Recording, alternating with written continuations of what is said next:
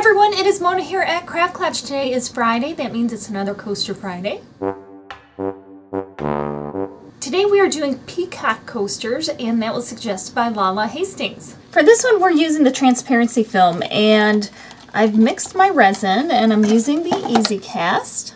So I have some pigment, just plain white because I wanted to have a white background so that the colors will will show really nicely when I put the images on there.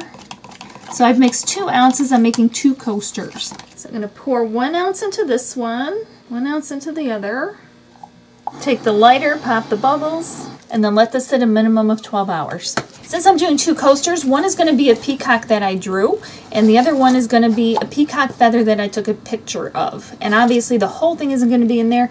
What I really wanted to concentrate was on the eye, to include that in the coaster, thinking that would make a bigger impact.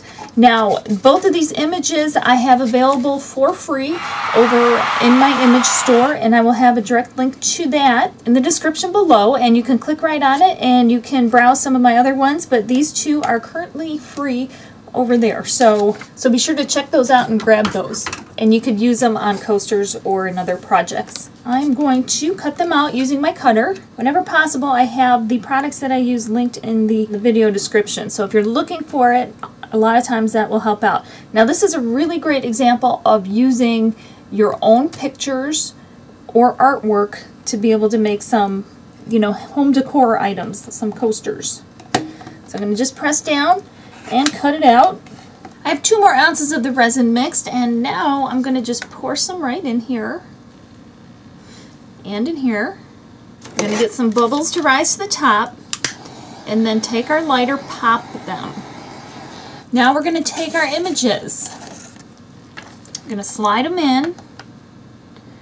And I do it this way because if I just put the image in first and poured the resin over it, I would get a ton of bubbles stuck underneath. So now I'm going to take it, press it down, get the air out from under.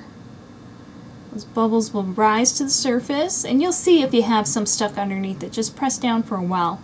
And then I'm going to do the very same with our peacock feather.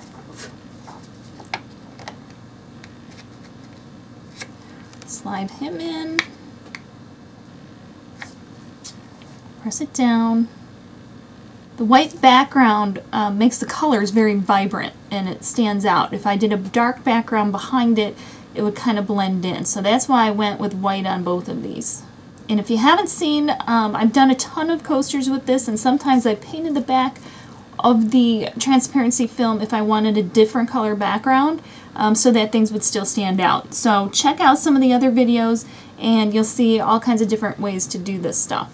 Go, I'm going to pop the bubbles again and then once the bubbles are popped we're going to wait 12 hours before we come back and unmold it. So here are the coasters and we are going to unmold them.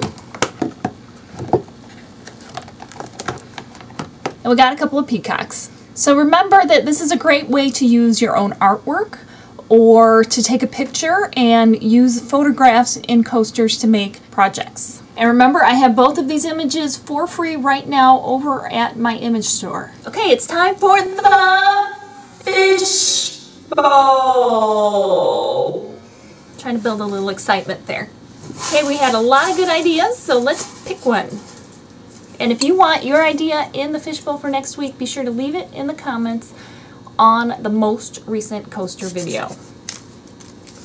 Alright, I have Claudia P. Baby Shower Coaster Party Favor. So that's what we're doing next week. If you haven't yet, remember to subscribe so you don't miss a thing. And if you like the Peacock coasters, be sure to give me a thumbs up. And if you share it with your friends, that'd be great too. And remember, life's too short not to shimmer, so grab your glue gun and your glitter. We will see you next time. In the meantime, stay safe.